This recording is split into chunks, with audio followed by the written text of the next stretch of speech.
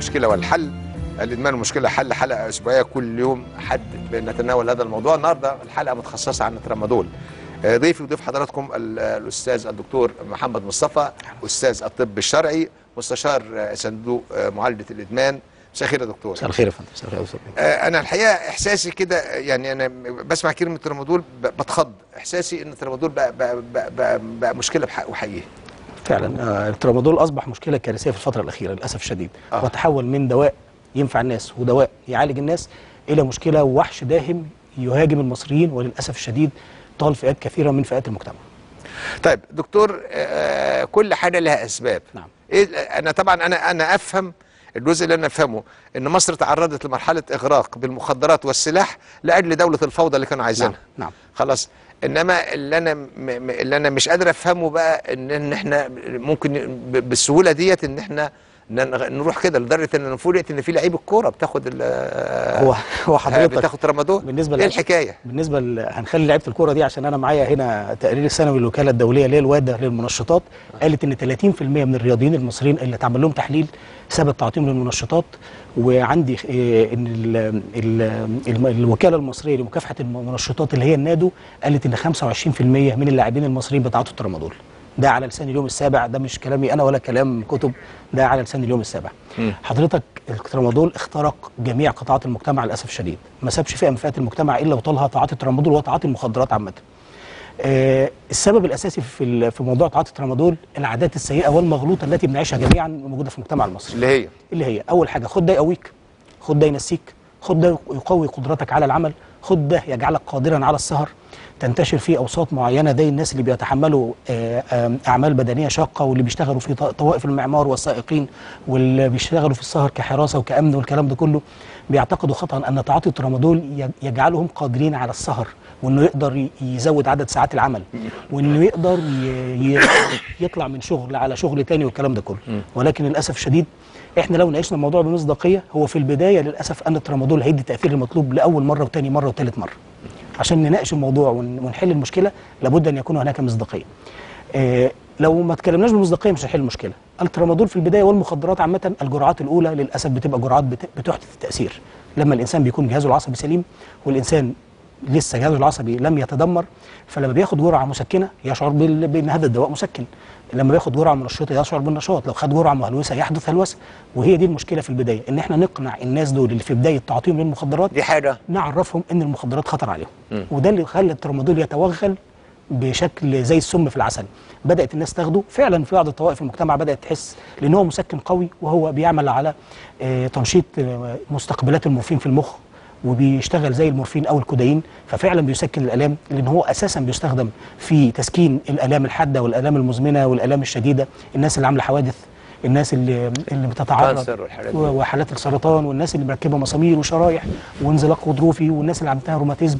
الناس دي محتاجة للترامادول ولكن محتاجة للترامادول تحت إشراف طبي ماخدوش بدون استشارة الطبيب ماخدوش من مكان غير موثوق فيه لأن أنا عايز أتكلم عن الترامادول المغشوش والترامادولات اللي بتيجي من الصين والهند اللي أغرقت الأسواق المصرية في الفترة الأخيرة.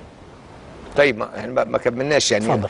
فالنهارده النهارده الم- المفاهيم المغلوطة خلت الناس تاخد طبعا خلت الناس والسعر الرخيص خلى الناس طبعا تاخد. طبعا وسهولة وان في إغراق فموجود مع أي حد وأي حد بي بي بي بي موجود عنده نعم، نعم، خلت الناس نعم، تاخد نعم. طيب إمتى إمتى بقى بنبتدي نحس إحنا خلاص حضرتك قلت في يعني أنت مرتين ثلاثة بتبقى لسه كل كده. مظبوطة. وأنت بتاخد ده للهلوسة هتهلوس بتاخد ده مش عارف إيه هتحصل لك إيه بالظبط. إمتى تبتدي المسألة تبان غير كده إمتى تتحول المسألة إن أنا باخد الترامادول عشان أقدر أقف على رجليا بقى مش عشان أبقى لا هو هيوصل لمرحلة إن أنا أصلا مش هقدر أقف على رجليا وإن الترامادول مش هيعمل لي حاجة ولا هيوقفني على رجليا. هيبدأ الإنسان مورفيناته الداخلية والإندورفينز اللي موجودة في المخ تقل تدريجيا. طب ما نشرح. آه حضرتك المخ إحنا عندنا المخ بيف- بيفرز مواد آه مخدرة. مخدرة اسمها الإندورفينز أو المورفينات الداخلية اللي المتخصصين بيسموها الإندورفينز زي الدوبامين والسيروتونين وال norepinephrine وال epinephrine والحاجات دي كلها. دي عشان لو حصل حادثة الام بتاع.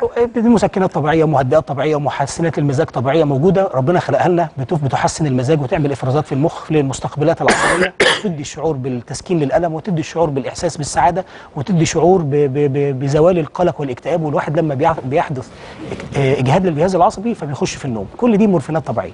لما يبدأ الإنسان يمد الجسم بمواد من الخارج تعمل على مستقبلات هذه المواد الطبيعية أو تشابه ما يفرزه الجسم من مخدرات طبيعية أو مورفينات طبيعية يبدأ الجسم في التوقف يبطل. عن إفراز مخدرات طبيعية شيئا فشيئا. لا سنة سنة. مش مرة واحدة. عشان كده في الأول أنا يقول لك أنا كنت باخد ربع قرص وكان بيحدث معايا التأثير المطلوب. قعدت فترة أخد ربع قرص. بعد شوية بقيت باخد نص قرص. الربع قرص اتعود عليه وحصل تحمل للجسم وتعود للجسم على المادة المخدرة. فبدأ ما يعملش معاه التأثير المطلوب. فبدأ يضطر إنه يزود الجرعة تلقائيا عشان تحدث نفس التأثير اللي كانت بتديه الجرعة القليلة.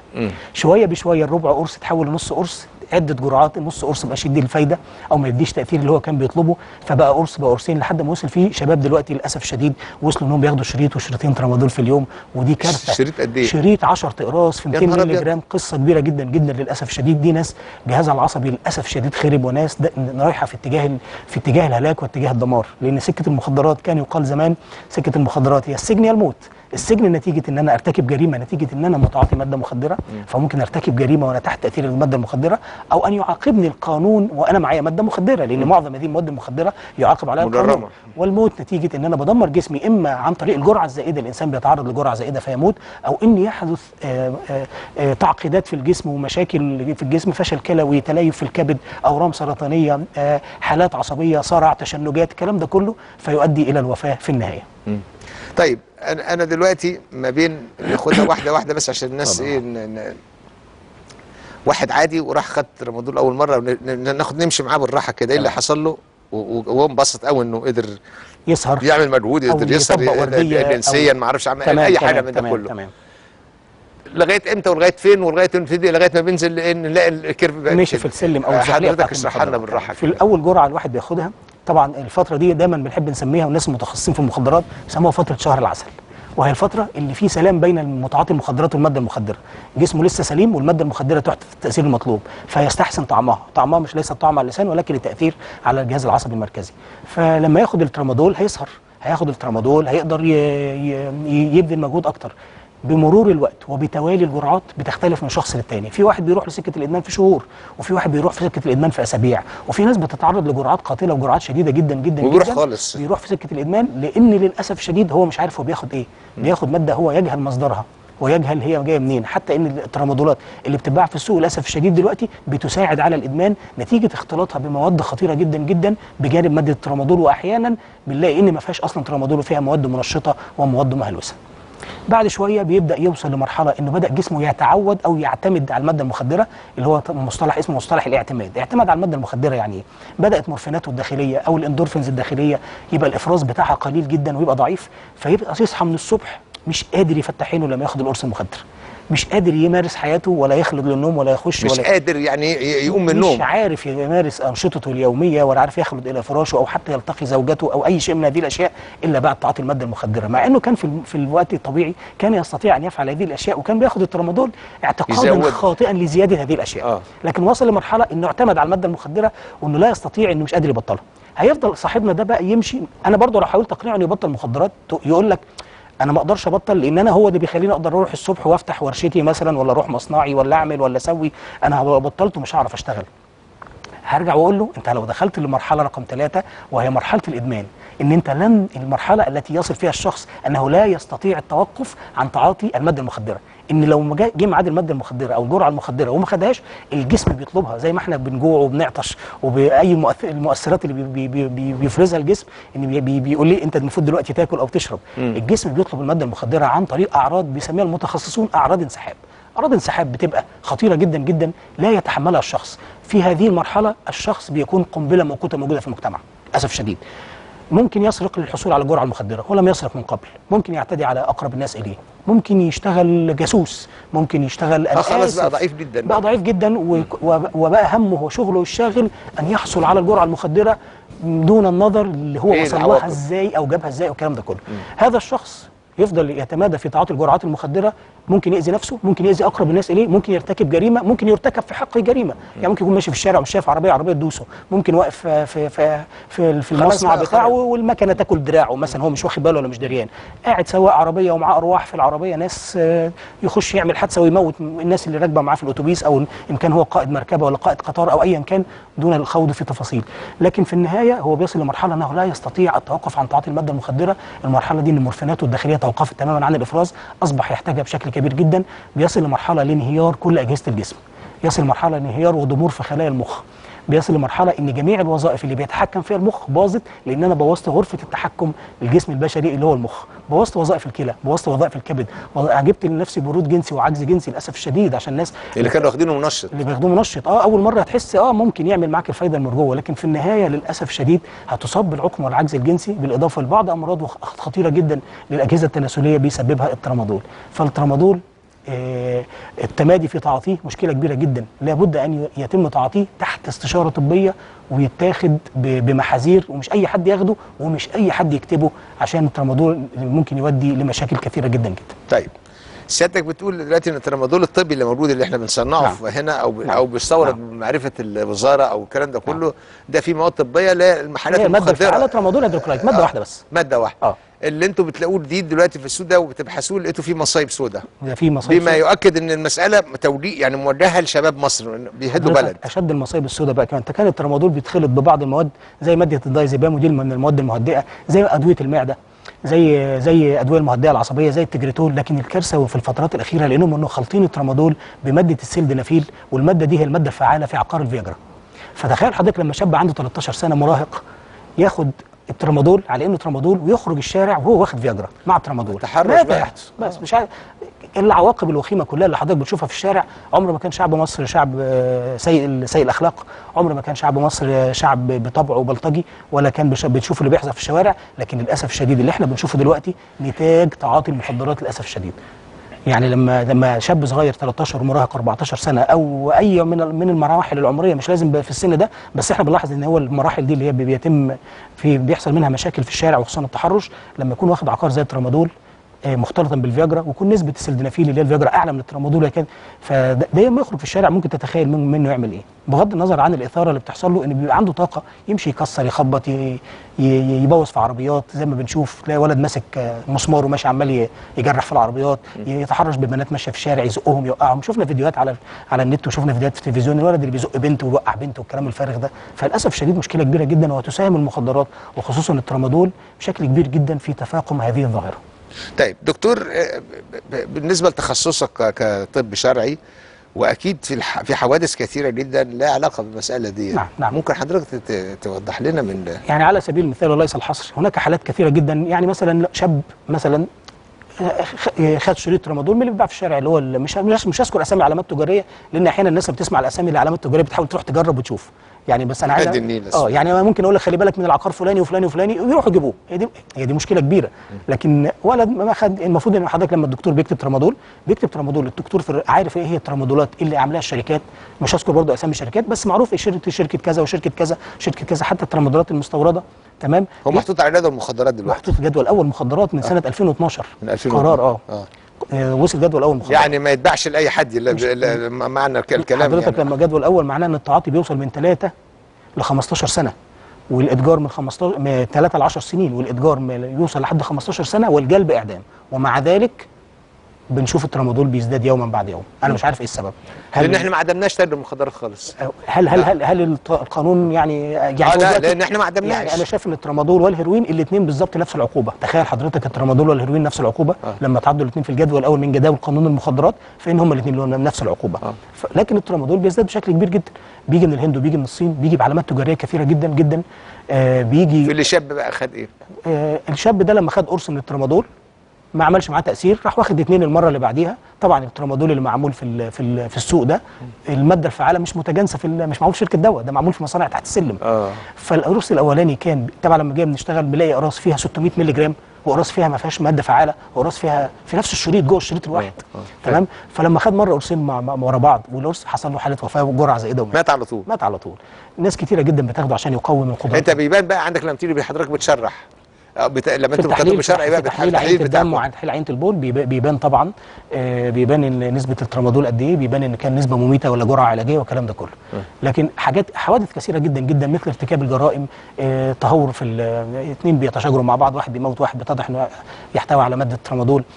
واحد مثلا آه، في حادث حادث سيارة إنه بيعمل زغللة وانعدام في الرؤية وعدم التحكم في في ما الحركات يقدرش ياخد. بقى- ما يقدرش مسافات. يدوس على الفرملة كويس ما يقدرش يقدر مسافات فطبعا حوادث كثيرة جدا جدا بيكون سببها وده. بيبرر إن إحنا أكبر دولة في العالم عندنا. آه، ضحايا سيارات في الحوادث والعينات السائقين اللي بتتاخد في في للسائقين على الطرق. بيبقى معظمها ترامادول للأسف الشديد يعني فيها بي- بيقفوا على الطرق وياخدوا عينات من السائقين. بنلاقي السائقين كتير جدا بي- بيتعرضوا للترامادول. ده خطر على حياتهم في المقام الأول خطر على حياة الناس اللي ماشي وخطر على لو هم سائقين عربات نقل وبضائع وبينقلوا شح... آه، شحنات آه، مواد غذائية أو أو أي حاجة. فده خطر على كل الأشياء دي للأسف الشديد.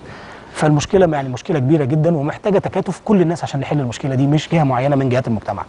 كل الناس لازم تتكاتف طيب أنا. الترامادول اللي أنتوا لما بت- بتعرف إن ال- بني- إنسان واخد تحليل بول مش دم. بول ودم ده وده. الاثنين مع بعض. الاثنين مع بعض.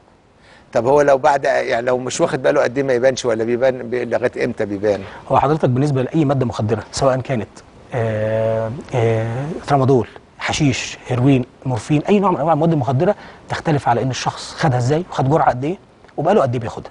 في بعض المواد المخدرة بتقعد أيام في البول والدم في بعض بتقعد أسابيع زي الحشيش بيقعد من أربع لست أسابيع.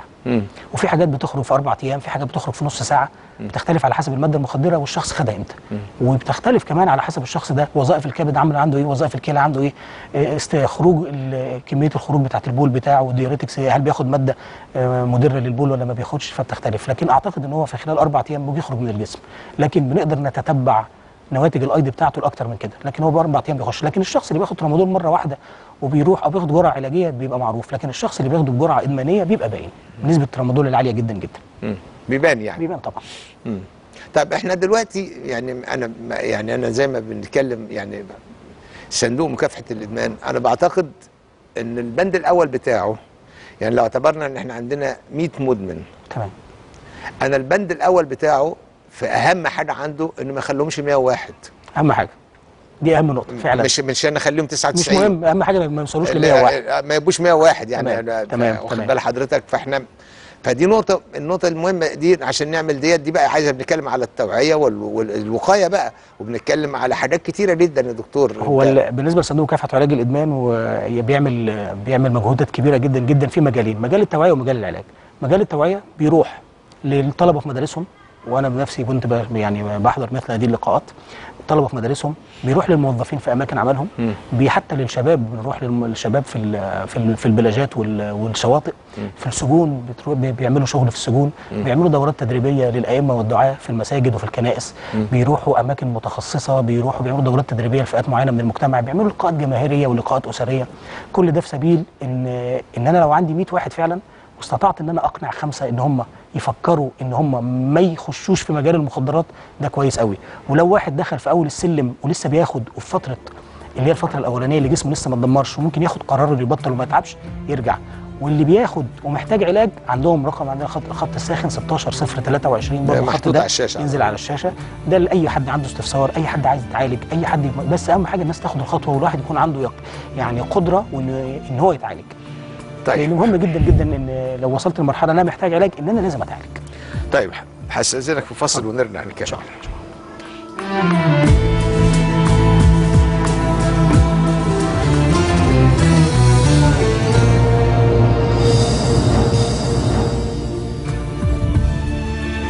ها الترامادول هو العدو الأول للمصريين دلوقتي. أنا في رأيي أنا أو الشباب المصري وربما ال- ال- ال- الخطر الأكبر على الطفولة المصرية. دكتور محمد مصطفى من فضلك يعني في الوقت اللي باقي ده كله أنا عايز حضرتك بتكلم أسرة. يعني تخيل حضرتك أسرة مصرية كل أسرة مصرية نعم. بتتكلم أب وأم ياخدوا بالهم إزاي ونعمل إيه والكلام ده كله.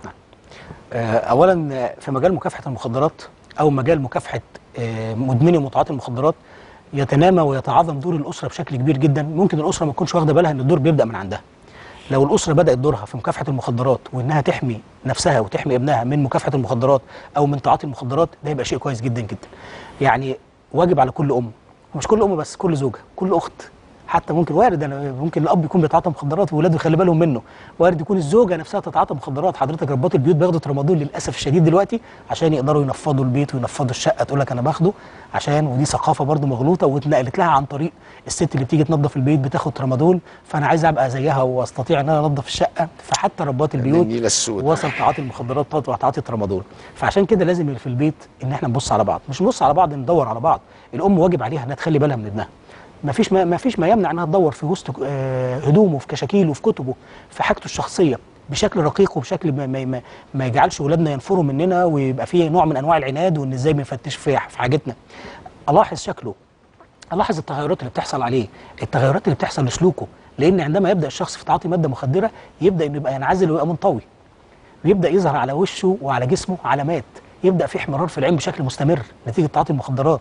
يبدأ بشكل مستمر إن هو في حالة آه، في حالة عدم تركيز. وحالة توهان وحالة ذهان آه، بينسى كتير. يبدأ تأخر ويتراجع دراسيا أو حتى لو كان بيعمل يبدأ يتأخر ويحصل له مشاكل في عمله. كثير الغياب عن عمله وعن دراسته. يبدأ بعد كده ياكل لوحده لأن مدمن المخدرات والكل أم وكل أب نخلي بالنا دايما حتى وصلت قمة مهارته في إخفاء المادة المخدرة إنه متأكد تماما إن ساعة ما والده أو والدته يبص في عينيه هيعرف إنه بياخد مخدرات. فياكل لوحده يقعد فترات طويلة لوحده يقضي فترات طويلة خارج المنزل يصحى طول الليل وينام طول النهار نلاقيه عصبي زيادة عن اللزوم لأسباب تافهة ويبقى متبلد الأحاسيس أمام أمور عظيمة. نلاقي آه، علامات التدخين تظهر عليه بقايا المخدرات تبقى في جيوبه. تمام؟ يبدأ في أشياء من المنزل تختفي خلي بالنا. لأن متعاطي المخدرات هيبدأ يخلص فلوسه. ويبدأ يزداد في تعاطي المخدرات فهيبقى الفلوس اللي بياخدها إن كانت مصروف أو كده هتبقى أكبر من طاقة الفلوس اللي بياخدها من والده. فيبدأ يسرق ساعة خاتم. خلي بالك الساعة اللي بتضيع ولا الخاتم اللي بيضيع ولا الموبايل اللي ما نلاقيهوش ولا لما نيجي نفك فلوس ونلاقي في فلوس متاخدة منها نخلي بالنا لأن ممكن يكون لا قدر الله أحد أعضاء الأسرة بياخد عشان يشتري مادة مخدرة. يبدأ هذا الشخص تظهر عليه علامات إهمال شكله إهمال مظهره إهمال هيئته. يبدأ زي ما قلنا يتأخر دراسيا. بعد كده نلاقي إن في أدوات غريبة موجودة في البيت. ألاقي سرنجه مثلا في غرفة نومه. ألاقي ليمونة. يعمل إيه بالسرنجه والليمونة؟ ألاقي الشرايط طب الدوائيه الليمونة إيه لازمتها؟ ما تقول. ماشي نقول آه ولا عشان استنى بقى ما أنت الحاجات طلعت هنعمل زي في الأفلام. تعاطي الهيروين يعني بيستخدموا الليمون يعني بس مش هنوصف بياخدوها إزاي. بيحلوا الهيروين في الليمون ويحقنوا نفسهم. الكلام ده. معلقة محروقة من أسفل يحطوا المادة المخدرة ويولعوا فيها من أسفل. كوباية ومحطوط فيها سجاره بالعرض. إحدى طرق تعاطي الحشيش بطريقة الكوباية أو. إنه يشموا الحشيش مباشرة أو أي من هذه الأشكال المهم إن في المهم اللي أنا عايز أوصله من النقطة دي إن أنا ألاقي أداة غريبة موجودة في غرفة نومه بيستخدم معطرات بشكل كبير عشان يخفي رائحة التدخين آثار التدخين طيب على أنا أنا كأم أو أب لقيت تمام. تصيت تمام إما إن أنا تصيت في مرحلة مبكرة أو مرحلة إلى أو حد ما وصل لمرحلة متوسطة. أو مت... كلمني بقى أعمل إيه؟ أعمل إيه؟ طبعا عندنا صندوق مكافحة وعلاج الإدمان. مع مع ملاحظة بس نقطة عايز أقول لحضرتك عليها لأن إحنا المجتمع أجرمنا. إحنا كم إحنا بقى كلنا أجرمنا. اعتبرنا المدمن مجرم. مجرم للأسف. المدمن مجرم أو بندور إن إحنا نعاقب اعتبرناه نعالج وبتاع نعم. فالأسرة ابتدت تتعامل فضيحة فعايزة تداري. فأنا عايزين بس يعني دي من مصايب المجتمع بتاعنا. للأسف شديد. أول. أول حاجة آه، لما نكتشف لو اكتشفنا في مرحلة. يعني مبكرة وإن إحنا هو يقدر أعرف منين مبكرة؟ مبكرة. ما هيكذب عليا. لا هو في الأول هيكذب لكن أنا من الشكل العام إن هي لو مش موجودة بيحصل حالات من ال... ده بيوصل لمراحل مراحل تشنجات. بيوصل لمرحلة اللي في لما لما يجي يوصل- الجرعة لما ما يجي ميعاد الجرعة بياخدهاش تشنجات وألام شديدة جدا جدا. ممكن يأذي أحد أعضاء آه، أحد أعضاء فهنا يبقى عارف إن في ده خدها وصل لمرحلة متأخرة لكن في مراحل متقدمة إن أنا يقدر يبطل. يتصل بصندوق مكافحة وعلاج الإدمان اللي هو رقم الخط الساخن لو هو موجود لحضرتك على الشاشة على دلوقتي. يا ريت ينزل على حضرتك. الشاشة. آه، هيلاقي ناس متخصصين يسمعوه يدوا نصائح. لو عايز تعالج نفسيا يتعالج نفسيا. لو عايز تعالج سحب مادة مخدرة و... ويتعالج عضويا. بس مهم جدا جدا إن يبقى في آه، آه، يقين ويبقى في قوة تحمل من الأسرة إنها تتعامل مع هذا الولد وتمشي معاه في سكة العلاج. لأن دائما العلاج في مصر بيحتاج آه، مجهود أكبر من سحب المادة المخدرة. يعني كان في الماضي اعتقادا أن علاج الإدمان أو علاج إدمان المخدرات هو 75% سحب الجرعة المخدرة. لكن أنا من وجهة نظري إن ما يوصلش لاكثر من 25% أو 30% سحب المادة المخدرة. وبقية العلاج الإرادة بقى. نفسي نفسي وتأهيلي. يعني أنا عايز اهله هو خلاص بطل المادة المخدرة دي. عايز اهله لما يخرج الشارع ويشوفها ما يحنلهاش هو يرجع تاني. وأحيانا بعض مدمنين المخدرات بيحن للجلسة. اللي بيتعاطى فيها المخدرات وليس لطعم المادة المخدرة. القعدة وال... واصحابه اللي بيقعد معاهم البرتيته آه، المعينة دي آه، فيرجع عن طريق دول. وبعض منهم للأسف هو بقى مدمن مخدرات ممكن يكون اتطرد من بيته ممكن يكون فقد وظيفته ممكن يكون فقد تأهيله إن هو لو راجل بيعمل آه، بمجال مهنة دقيق. فبدأت يظهر عليه رعشة في الإيدين بدأ يزغللة في العين آه، عدم التركيز في عمله. فلما يطلع يلاقي نفسه بلا عمل هيرجع تاني لسكة المخدرات. فلازم أأهله يا إما ااهله يرجع عمله يا إما أأهله لعمل آخر. ودي نقطة مهمة جدا. فعمل علاج الإدمان متكامل وليس مصحات علاج الإدمان أو صندوق مكافحة علاج الإدمان هو يقدر يعمل الكلام ده لوحده. لازم يبقى في تكافل إن الناس اللي خرجت دي بعد العلاج ما يرجعش وينتكس إن هو يشوف المادة المخدرة يرجعها. هنا دور الأسرة بقى إن خلي بالي أحتضن ابني ما حسسوش إنه مجرم ما حسسوش إنه مدمن ما حسسوش إن أنا في البيت شرطي وراه. دايما بالنصح والإرشاد. شفته مرة وكذب عليا أعمل نفسي مصدقه وأفضل أنصحه تاني وراقبه تاني.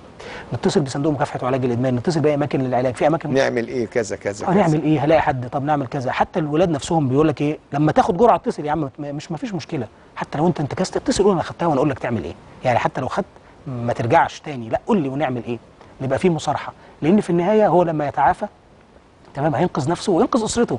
تخيل حضرتك أسرة فيها ولد مدمن مدمن. أنا تخيل م- بغض النظر عن الأضرار الصحية والمشاكل اللي بتحصل والتعقيدات الصحية اللي بتحصل لو أسرة فيها متعاطي مخدرات هل إخواته البنات سيتزوجون؟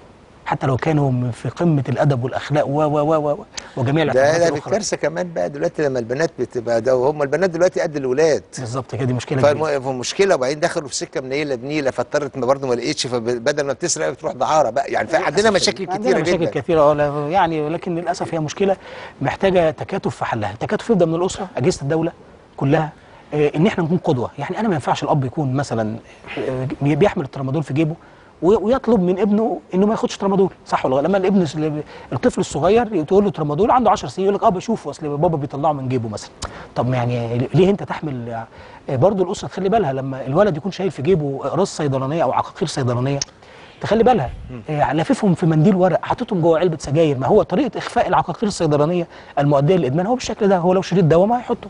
في مكان محدد. هو هو القرص حي... لكن يقدر يخبيه فبرضه لازم الاسره تخلي بالها والناس تخلي بالها لأن مهم جدا. لو لحقته في الأول خير. ما لحقتوش صندوق مكافحة علاج الإدمان خط الساخن لعلاج الإدمان برضه هقرر اقرر الرقم.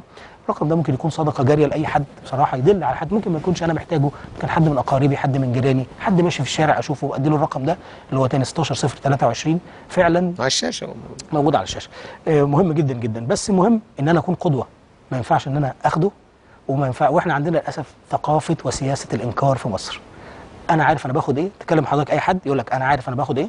أنا هقدر ابطل في الوقت اللي أنا ناصح، آه. اللي أنا وان أنا أقدر امنع, أمنع وللاسف هم دول اللي بيقعوا تحت تاثير المواد المخدره فكرة الإنكار بقى انه انه انه أنا لا لا لا ولا بيت أنا بيت طيب ابنك هياخد مخدرات. استحالة أنا مربي ولادي كويس وإحنا من اسره متدينة والكلام ده كله وللأسف مثل هذه الأسر اللي بتد... ما بتديش الحذر الكافي بيطلع بيلاقي اب- الابن بيتعاطى مخدرات ويحصل مصيبة بتبقى كارثة. لأن أنا واخد حذري يعني مش واخد حذري ومدي ثقة زائدة وللأسف الشديد. عشان كده الرقابه مهمة جدا جدا من البيت. ولازم أعرف الشباب إن النهارده انت خدت ترامادول وعمل معاك فايده. بعد بضعه سنوات الترامادول دخل مصر في اواسط التسعينات. الترامادول ظهر سنة 77 في ألمانيا. تمام؟ شركة ألمانية اللي اخترعته بدأ يظهر في أوروبا. دخل مصر في اواسط التسعينات. هل عامل مشكلة في أوروبا؟ مش عامل مشكلة في أوروبا لأن هم في أوروبا عارفين بيعملوا إيه. حضرتك لما في أوروبا لو رحت في أوروبا تجيب مضاد حيوي من الصيدلية بدون روشتة هيطلبوا لك البوليس. لو حضرتك رحت أوروبا تجيب دواء، أي دواء، مضاد- دواء. أبسط الحاجات اللي إحنا بن هنا بنبلبعه كده و- أي دواء. والأطفال الصغيرين حافظين أسامي المضادات الحيوية من كتر ما بيشتروها هيجو ه- ه- مش هيرضى يديه لحضرتك من غير روشتة لكن للأسف إحنا هنا ما بنتعامل إحنا عندنا منطق طالما هذا الدواء موجود في الصيدلية فهو ليس مخدرات مع إن في الصيدلية في رف عليه علامة الجمجمة والعظمتين اللي هم علامة السموم خلي بالك إن هي دي دواء لشخص وسم لشخص تاني الدواء ينفع شخص ولا ينفع شخص آخر. وهو أصلا مش دواء الشخص ده هو بيخاف هو ده هو يعني نوعيه معينه للناس. آه، آه. يعني حضرتك مثلا واحد خد أقوى أنواع المسكنات الموجودة الذي يشابه المورفين في التأثير. لو أصيب بمرض ولا أصيب بألم شديد إيه اللي هيأثر معاه تاني كمسكن؟ مين أقوى من الترامادول؟ عارف حضرتك مين أقوى من الترامادول؟ الهيروين. مفيش أقوى من الترامادول إلا الهيروين. فتخيل حضرتك مدمن الترامادول ومتعاطي الترامادول ده لما يحصل يحصل له حادث. ده بقى يبنجوه بايه بقى؟ هيبقى مفيش نجوم. إن يموتوه بقى. وجميع أطباء الأسنان بيشتكوا. للأسف الشديد يقول لك كتير جدا أطباء الأسنان اللي نعرفهم يقول لك أنا ثلاث أرباع الحالات وأنا شغال معاها. كله حاسس الناس بقى بقيت ما هو ما هو وده طبعا للأسف شديد نتيجة إن تعاطي المخدرات. م- طبعا أدوية التخدير لا تؤثر. طيب آه، آه، دكتور يعني إحنا الم- المسألة بقى مش مسألة دلوقتي آه، مش مش قضية صندوق مكافحة الإدمان. ده قضية الدولة. قضية دولة قضية نعم، دولة. نعم. ودولة متكاملة. أنا للأسف إحنا عندنا مشاكل كثيرة جدا والموضوع مش مطروح لغاية اللحظة اللي إحنا فيها دي. ومشاكل كثيرة جدا لأن إحنا بنتكلم لما بنتكلم عن المخدرات إحنا عارفين المخدرات دولة المخدرات أقوى دولة في العالم. نعم. وإحنا عارفين إن لو كانت مش قوية ما كانتش دخلت أمريكا. يعني وعصابات المافيا في إيطاليا ما هي بتصرف عليهم وفي بيرو وفي كوبا والأماكن دي كلها؟ يعني كلها كلها نعم،. نعم. فدوله قوية جدا ولا يب- لا يبقى أمامنا غير إن الوقايه إن هي توعية. ما إحنا ما عندناش التوعيه للأسف ما يتم في في, في الثقافة اللي تديها الأفلام والحاجات دي كلها ثقافة نعم، سلبية. نعم. للأسف يعني. أنا ما أعرفش مش هقول ميثاق بقى ما عادش فيه مواثيق ولا نيلة. هل النهارده ممكن يبقى تدريم النهارده؟ أي حد هيعمل أي حاجة ضد كذا في الوقت ده لازم يبقى فيه تدريم لازم يبقى إن إحنا دي حاجة مدرمة لأن دي بتضر ما تقوليش إبداع. لا لا لا لا يعني ما تقوليش الواد العيال ال- ال- ال- يعني الحقارة المناظر الحقيرة اللي بيطلع وبينتشي ويعمل والكلام ده. مجموعة الأفلام مع الخضرات في العشر سنين الأخرانيين لها دور في المصيبة السوداء دي. حضرتك هو وراني تاجر المخدرات إيه؟ شخص يمتلك ال- الأموال؟ يمتلك اساطيل من السيارات. جميع البطلات اللي في الفيلم يحبونه ويجرون تحت يا امره راجل بيلعب بيلعب بالدنيا كلها. تمام. فده ما بقاش ما بقاش قدوة لشاب عايز يصل للثراء لا مش. كده. وكمان خلاه بطل حلو في وسيم الشكل. ويقول حاجات بتضحك أو يضحك المشاهدين. وإن المخدرات دي وده راجل قاعد. الفيلم كله اللي هو مدته ساعتين اللي بيمثلوا 40 سنة في الحياة أو أكتر. وهو بيجي في الدقيقة 118 قبل ما تيجي ل 120 العقاب الإلهي العقاب، آه، الإلهي. الواحد لو, لو, لو رمش ما, يلحقش آه آه يعرف. طب طب ما أنا حق الواد يقول لك لا طب أنا عايش 40 سنة ملك. زماني وممكن نطلع طيري في اللي جنبي بعد كده. وما ما ركزش على العقاب ال- ال- القانون أو العقاب الإلهي اللي يعني جزاء ربنا ليه للأسف شديد. لكن كل الحاجات اللي بنفتكرها من الفيلم نفتكر القفشات والضحكات لا مش العيشة العيشة ده راجل الإمبراطور. إمبراطور. فانا أنا اللي أنا عايز أقوله يعني أنا الإعلام فعلا ساهم مساهمه خاطئه أصل أنا أنا عايز أقول يا دكتور الناس فاكرة إن ده بيتم بعبط. أنا رأيي إنه مش عبط. ده ده ده دوره معمول. هو إنما هو دور فيه حصل فيه تقليد. إنما اللي زرعه الأو... اللي عمله الأولاني يعني أول من أظهر المعلم بصورة كاريكاتير يعني كاري... كوميدية ومضحكة و... عشان يسخف المعلم وي... ويضيع قيمة المعلم ده بادية من الأب- ابيض وأسود. اللي عمل دي من من الأربعينيات واحد قاصد وبعد كده بقت موضة. نعم. اللي طلع صورة راجل الدين دايما إن هو يت... لما بيطلع ويته... ويهزروا معاه ويقول له مش عارف إيه ويغمزوا ف- في صورة عشان يهدم الدين نعم. ده ما كانش ما كانش عبط نعم. و... ومشوا عليها موضة نعم. وهكذا وهكذا لما تطلع أفلام المخدرات يجي حد النهارده ما أنا ما أعرفش مين اللي مزروع عندي في السوق إنما حد يروح. في ضارب فيلم من دولت ويمشي هو ويتكل على الله خلاص.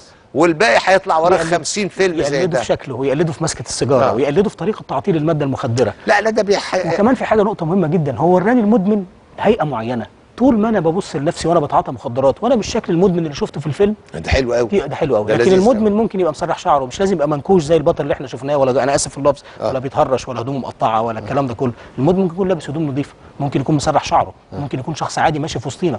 لكن لما بتنقطع عنه المادة المخدرة بيتحول إلى وحش كاسر محتاج الجرعة المخدرة. فطول ما حتى الناس بتتعاطى مخدرات وشاف شكله مبقاش شبه البطل اللي أدمن في فيلم معين أو في في في في, في مسلسل معين ويقول لك أنا كده أنا مش مدمن أنا ما وصلتش مرحله الإدمان. فيعني هو المفروض إن الإعلام يعني يساهم شوية في, في, في, في فهي حل هذه المسألة ما أعرفش هي مسألة ما هو مش مساق. أنا عايز أقول في يبقى في تدريب في الفترة دي إحنا عندنا مصيبة بتاخد شبابنا اسمها الإدمان. نبطلها إزاي؟ لازم الكل يساهم اللي هيطلع عن الخط ده يعاقب. حضرتك مسلسلات رمضان للأسف الشديد للأسف أنت كل ما تشوف مسلسل تلاقي فيه تعاطي مخدرات و... وكأنهم يروجوا للسلع في وطبعا رمضان فترة نسبة مشاهدة عالية. عالية جدا جدا. فتخيل حضرتك بقى لما الناس يشوفوا بس صندوق المخدرات- كان عامل احصائيات على دكتور عمرو. أيوة. عثمان ده, ده فضيحة يا راجل. كانت إحصائية جميلة جدا فعلا وبرزت عدد ساعات تعاطي المخدرات وكانت حاجة مفجعة للأسف الشديد. يمكن الواحد ما بيتابعش كله لكن لما حضرتك الناس دي تعبت وجمعت المسلسلات دي كلها وشافت كمية المشاهد اللي فيها تعاطي مخدرات كان كانت النتيجه مفجعة للأسف الشديد يعني. طيب دكتور يعني في- تصورك كده ان أنا أنا ده أنا أنا في رأيي إحنا أنت قلت النصايح الأم تعمل إيه والأب يعمل إيه والكلام ده كله المدرسة بقى أنا بالتالي م- عايزين نعمل شغل على المدرسة المناهج الدراسية الحاجة. الثانية إن أنا أشغل العيال دي بالرياضة نعم. المجهود البدني ده لأن ده أكتر حاجة حتى. تشغل ده إن أنا أطلع الطاقة اللي عنده في مجهود طبعا للأسف إحنا مفيش ملاعب ولا فيه يعني هو الرياضة أصل مفهوم الرياضة عندنا غلط آه. يعني الدولة وأغلبنا فاهمين إن الرياضة كورة وكورة لا. أهلي وزمالك لا, لا طبعا. الرياضة إلا النشاط الحركي نعم. والمطلوب ويجب إن كل طفل من ولادنا وكل بنت من بناتنا إنه يمارس نشاط حركي بحد بحد يعني ما ينزلش عن لازم يعني في حد أدنى ما ينفعش حد أدنى يعني منه ما يقللش ما عنه يقللش عنه إنه هيتعب لكده تمام. عشان عضلاته وعشان أربطة وعشان عمود فقري وعشان نعم. وعشان وعشان وعشان لو عملنا ال- الكلام ده كله أنا أنا أنا يعني الولد اللي لقى جسمه بيبنيه بالرياضة هيصعب عليه إنه يهده بالترامادول بالمخدرات والترامادول. ادي أول نعم. حاجة فهتساعدنا الرياضة في كده يا دكتور المشكلة نقول الكلام ده الحكومة إزاي ما الحكومة هي ال- الأرض الأرض دي بتاعتنا كلنا بتاعت الشعب المصري نعم. بس الحكومة هي هي اللي, اللي واخدة توكيل إنها تتصرف فيها نعم. يجوا يعملوا الأمارات مزنقنا في بعضها ده يخلوا الناس مش مش تاخد ترامادول ده الناس تاخد أي حاجة مزنق يا عم وسع فسح الإمارات عن بعضها شوية. يا عم بتعمل مصر مساحة يعني بين كل أربع إمارات مساحة صغيرة العيال تلعب فيها. مليون كيلو متر مربع يعني. أنا مش أنا, نعم. أنا- أنا عندي من يعني تروح هنا وأنت رايح التجمع كده وأنت رايح بقى. لغاية السويس قدامك لغاية البحر الأحمر السويس. ارض فاضيه لازقة في بعضها يعني بحيث إنك تجيب قفل الراجل اللي في الشقة التاني تجيبه من قفاه. خدت بال حضرتك. طب أما ينزل الولاد دول طب مش دي في أطفال هنا وشباب؟ يروحوا فين؟ يعني يقفوا على النواصي ويقفوا على الشوارع أنا. لو أنا عملت له بقى ملعب وعملت له مساحات كل كل عمارة لها حتة مساحه صغيرة ده قد كده اهو والله نتمنى تبقى حاجة وبعدين دي تمنها يعني ما هو ده من ضمن الحاجات اللي أنا بتكلم وأنا بتكلم على الوقاية في صندوق المخدرات يبقى هو الرياضة. يعني ده اللي أنا أقصده. بنقول له مش هتكلف حاجة لأن اللي بتصرفه الدولة نتيجة تدمير المخدرات أكبر بكثير آه. جدا جدا من الحاجات البسيطة يعني دي. حتة ال... يعني أنا لما عملت خناقة على على على على أرض امبابه مطار امبابه 220 كانت أمنية حياتي إن الأرض دي نعملها كلها ملاعب. تبقى جميلة. وتبقى زي غابة كده وملاعب وبتاع ويلعبوا فيها لأن كثافه سكانية. الحتة اللي ورا مستشفى المعادي اللي كانوا بانيين فيها اللي بانيين اللي كان فيها عمارات وهدوها قال لك دي بتاع شركة المعادي. أنا ما أعرفش شركة المعادي ورثتها عن مين يعني شركة المعادي الإسكان ورثتها عن مين؟ دي أرض دولة. وأرض زراعية اشتريتها من مين؟ ثم أنا بتاعتها الدولة هت- هتاخدها منها وتعملها ملاعب لأن منطقة فيها كثافة سكانية عالية. وملاعب إيه بقى؟ لا أعمل مجلس إدارات ولا نادي ولا نيل عشان ما يقعدوش طبعاً يتخانقوا ملاعب مفتوحة بيديرها موظف من الجهة الإدارية وانتهينا مفتوحة. وايجار الملعب يبقى بايجار اسمي خدها في الساعة ب بسيطة 5 يعني. جنيه آه. ولا مش عارف إيه لل- يبقى في خلال متناول خمس- أي حد يعني. في المتناول عشان بالظبط. بس أنظم العملية. إنما أنا الولد اللي هيجي يلعب عندي ده أنا 80% من الولاد اللي هيجوا يلعبوا معايا دولت مش ممكن هيروح يعمل حاجة. خلاص الوقت الفراغ اللي عنده هي هي هيستخدمه في الرياضة ومش هيفكر في أي مادة مخدرة ولا يفكر يتعاطى ولا يبقى عنده وقت يقعد يسمع أفكار مسمومة ولا عنده وقت يقعد يسمع ويسمع ويشوف وحد يضحك عليه ويقول له خد دي تعمل معاك كذا وخد دي تعمل معاك كذا للأسف الشديد. أنا فاضل لنا كام دقيقة كده. اتفضل. آخر حاجة نصايحك اللي تقولها اقفل ده إحنا الموضوع ما مش مقفول الموضوع اللي هنتكلم فيه كتير مع سيادتك ومع غيرك يعني في هذا الموضوع. والله نصايحي إن الإنسان أول حاجة يكون قدوة إنه ما ياخدش دواء دون استشارة الطبيب. مهم جدا جدا. ما ينفعش آخد دواء دون استشارة الطبيب حتى لو الدواء ده موجود في الصيدلية لأنه قد يؤذيني قد يؤدي إلى الإدمان. عندما نعتاد على الأدوية أو الجهاز العصبي يتم تعاطي دواء معين بفتره طويلة دون استشارة الطبيب الجهاز العصبي بيتعود على هذا الدواء بعد كده ما بيقدرش يبطله. فما ينفعش إن أنا آخد دواء بدون استشارة الطبيب. الأدوية بتكون من مصادر موثوقة من شركات أدوية معتمدة. آه رسالتي لل- للصيادلة اللي بياخدوا الترامادول من اللي جاي من الهند والصين اتقوا الله في الناس. ما تبيعش ترامادول جاي من أماكن مشبوهة للناس اللي بتاخده في ناس بتاخده كعلاج للاسف الشديد فبيروح ما بيلاقيش غير الترامادول ده في الصيدليات.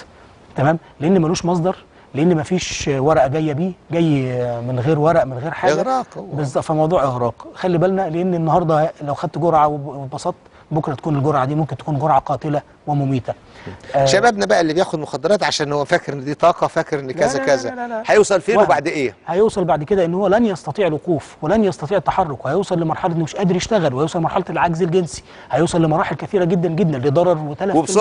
وبسرعة طبعا لأن لأن إذا كانت الجرعة الدوائية البسيطة اللي المفروض إنها 50 مللي جرام بتوصل للمرحلة دي ما بال حضرتك للجرعات اللي بتوصل 200 و400 مللي جرام في القرص الواحد يعني إحنا بنتكلم عن الترامادول وخايفين منه ان قلنا لو إحنا ادمناه على أساس الجرعات الدوائية المعتمدة اللي هي 50 مللي جرام يعني لحد 50 مللي جرام. طب اللي بياخدوا 200 مللي جرام و400 مللي جرام حضرتك تنتظر منهم إيه؟ كارثة ومصيبة سوداء وانهيار للجهاز العصبي المركزي في غضون. أنا عايز أقول في ناس بتوصل في أسابيع إنها تنهار في ناس بتوصل في بضع شهور لكن إحنا ما نعرفش إحنا هنوصل إزاي لأن إحنا مش عارفين إحنا بناخد إيه للأسف شديد. وبتختلف من شخص لآخر تختلف من شخص للتاني. وبعدين المشكلة كمان إن الترامادول بي- بيتداخل مع أدوية كثيرة جدا في الجسم. يفشل عملها أو, أو الاثنين يعملوا مصيبة تالتة. يعملوا مصيبة ثالثه وخصوصا الكحوليات. بيقولوا إن الترامادول مع الكحوليات بيعمل تسمم. يعني فدي مشكلة كبيرة جدا. فالمشكلة معقدة ومحتاجة إن الناس تخلي بالها. مش معنى إنه رخيص الثمن مش معنى إن هو موجود في الشوارع مش معنى ان إن الرقابة مهما أي أقوى جهاز أمني في العالم لا يستطيع ضبط أكثر من 10% من كمية المخدرات المهربة.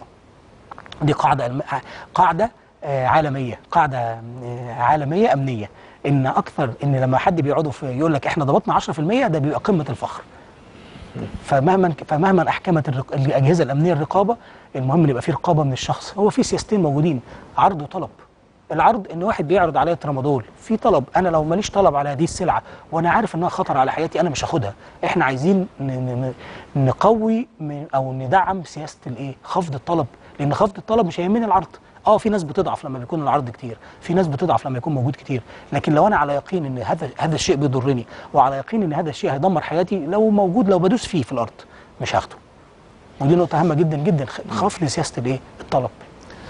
طيب آه إحنا ما أعرفش أنا في المدارس يعني أنا بيتهيألي يعني إحنا المدارس محتاجة آه أنا في رأيي المناهج الدراسية المفروض وخصوصا مناهج آه، الأطفال يعني أنا أنا, أنا كنت بتكلم إن أنا عايزين مادة كان كنت بتكلم يعني أو يتم يعني يتم إدماجها في وسط مش لازم مادة معينة. مش مادة يعني تعمل حاجة آه. بس على الأقل يعرف جسمه بيحصل له إيه. وأعتقد هو بيدرسوا أعتقد إن في دراسة للموضوع ده صندوق مكافحة علاج الإدمان بيدرس مع خبراء من وزارة التربية والتعليم هذا الموضوع في الفترة الأخيرة. وإن شاء الله اعتقد وأنا أتمنى إنه يطبق في الفترات القادمة بإذن الله.